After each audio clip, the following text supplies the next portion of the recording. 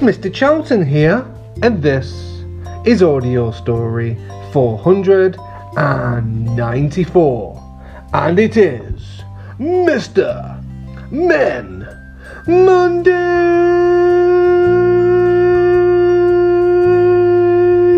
And the next story has been chosen by Eli. Hello, Eli! And Eli has asked for Mr. Daydream. Are you ready? Okay, let's begin. Mr. Daydream by Roger Hargreaves. This is a story about Mr. Daydream. You know what he looks like, don't you? Because you've seen him in your minds. You've seen him on the books that you've read before.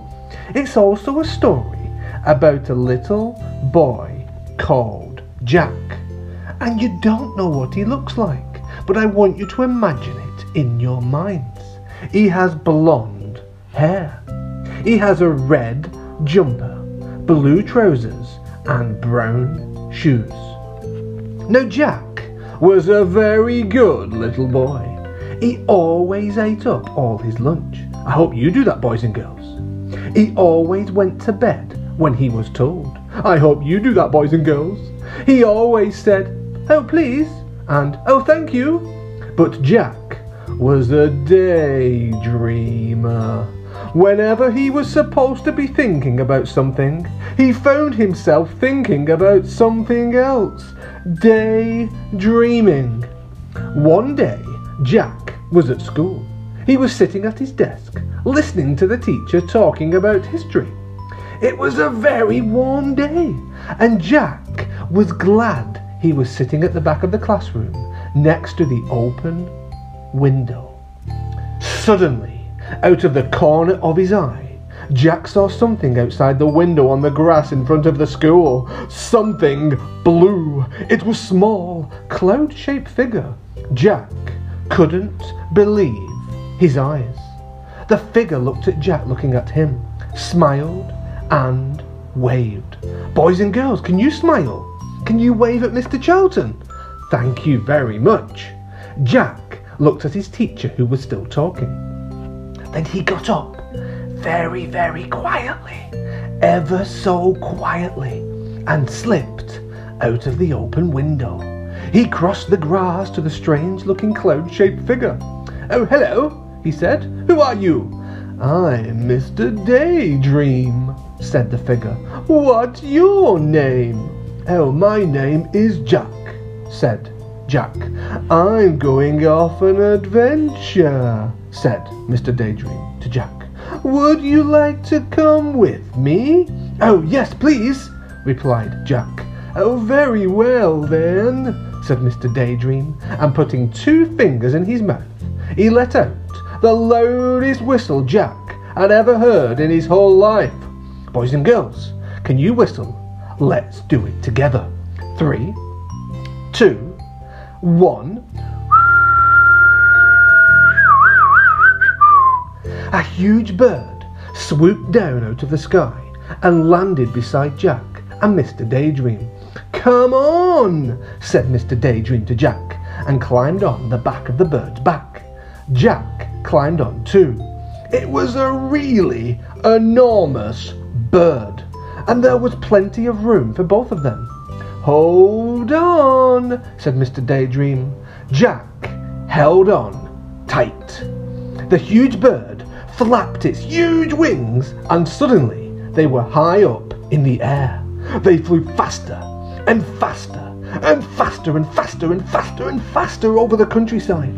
They flew over fields and farms and towns and hills and hills and towns and farms and fields and trees and valleys and vales and lots and lots and lots of different things until they were far, far away from Jack's school. It was very exciting. Mr. Daydream turned to Jack. Oh, uh, how would you like to go to Africa? he said. They were travelling so fast now Jack just nodded his head and held on even tighter. And they flew and they flew and they flew and they flew across the sea. Suddenly, it seemed in no time at all, there below them was Africa. the bird landed in a jungle clearing, and Jack and Mr. Daydream climbed off the bird's back. It was very, very hot. Come on, said Mr. Daydream to Jack. Let's go and explore. So off they set, pushing their way through the jungle. Suddenly, in the middle of the clearing, they saw an elephant. Uh, hello, Mr. Daydream, trumpeted the elephant down its trunk. Would you like a lift? Yes, please, replied Mr. Daydream, and the elephant reached out his trunk, picked him up, and then put him on his back. Then he reached out his trunk again, picked up Jack, and put him on his back. It was very, very high. The elephant carried them through the jungle until they came to a river. Then he set them down on the ground and said goodbye and went off back to the jungle. How, how are we going to cross the river? Jack asked Mr. Daydream. Uh, well, perhaps I can uh, be a little bit of a, uh, assistance, wheezed a particularly oily voice coming from the river. They looked, and right there was a crocodile. Use my back uh, as a bridge, suggested the crocodile. It was very, very helpful. They were halfway across the river on the crocodile's back when the crocodile grinned a rather nasty grin, all teeth and no smile. Then, flicking his enormous tail and shooting Jack and Mr. Daydream up into the air, the crocodile opened his horribly large mouth and waited. It was very, very frightening. Oh dear, gasped Jack as he looked down at that enormous mouthful of teeth. Oh dear, oh help, oh help, oh dear.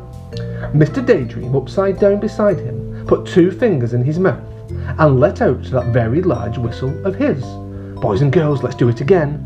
Three, two, one. Suddenly, just as the crocodile's mouth was about to go snap, the big bird swooped down out of the sky.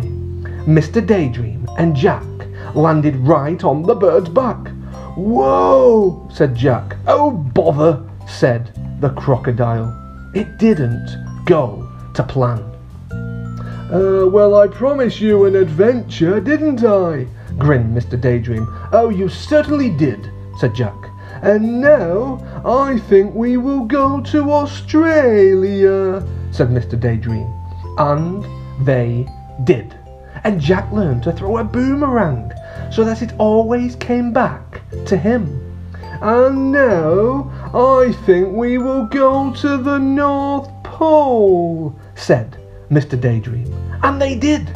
And Mr. Daydream fell right up in the middle of a snowdrift. It wasn't good. And now I think we will go to the Wild West, said Mr. Daydream. And they did. And Mr. Daydream found a huge 10 gallon cowboy hat. The trouble was, when he put it on, he couldn't see out. It was too big. Jack! Jack! Jack, you've got to help me! Jack! Jack! Jack! Jack! Jack! Suddenly, Jack realized that it wasn't Mr. Daydream saying his name. It was his teacher. And Jack wasn't in the Wild West. He was sitting at his school desk. Jack, said the teacher again, you've been daydreaming. It was true. He had.